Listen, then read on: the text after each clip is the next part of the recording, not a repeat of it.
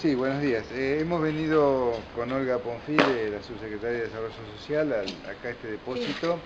Este, hemos recibido eh, del Ministerio de Desarrollo Social de la Nación, este, hemos recibido del Ministerio de Desarrollo Social de la Nación, como te decía, este, un, camión, ¿no es cierto?, cargado con gran cantidad de artículos de primera necesidad para aquellas personas que quedado damnificadas por este fenómeno eh, relacionado con la inundación.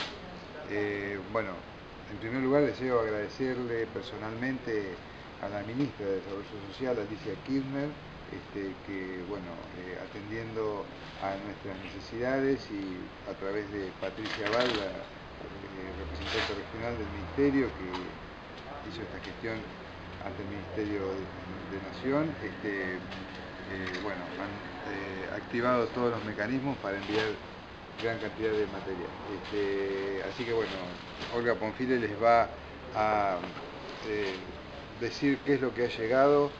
Eh, ustedes pueden poner imágenes si quieren, ya lo habrán hecho, este, el cuantioso material. Sí, acá tenemos además de Nación también cosas que nos ha enviado el Banco de Provincia y Quiero aclarar también que nos acompañaron, yo estuve acompañada por Patricia Val, por Guadalupe del Molino, que creo que...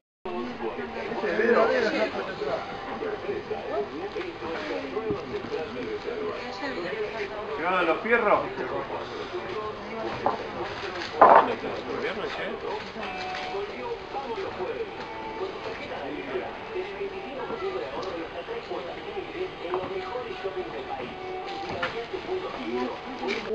Algunos artículos de limpieza. Ahora más tranquilos empezaremos a ver las familias que están más afectadas y en función a eso, porque en realidad, si bien nos mandaron, pero no nos han mandado para toda la, comunidad afectada, pero sí vamos a, ver puntualmente quiénes son los más necesitados y ahí apuntaremos las cosas que nos han enviado. ¿Cuándo se empezarán a distribuir estos Y nosotros ya ahora estamos haciendo las listas de la gente y supongo que ya a partir de mañana no mañana no, porque mañana vamos a salir con el Banco Industrial a repartir eh, artículos de limpieza, así que la semana que viene, el lunes, ya estaríamos haciendo este trabajo. Quiero aclarar también que nos han, tenemos otra donación para la semana que viene de ACOFAT, la cooperativa eléctrica, eh, y así que bueno, también estamos trabajando con ellos que vamos a hacer lo mismo. La semana que viene vamos a salir a distribuir lo que ellos nos traigan.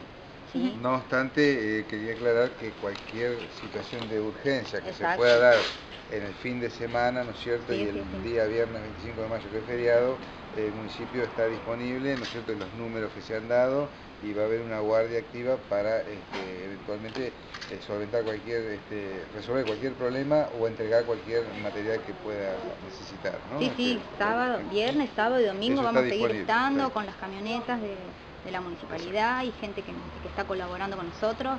Vamos a salir también sábado y domingo, por supuesto. Sí. sí, Oiga, ¿cómo se articula la ayuda? ¿Llega la necesidad de desarrollo social de cada familia y luego se va a llevar a domicilio? ¿Cómo es el operativo? Exactamente, llega el pedido o llamadas telefónicas o gente que se acerca acá a la secretaría nuestra.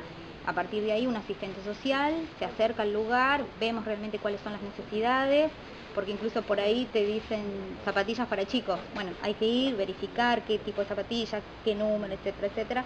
Entonces va el asistente, volvemos, cargamos la camioneta y sale a la familia. ¿En los casos de urgencia esa ayuda ya se está repartiendo? Sí, sí, hace ya varios días.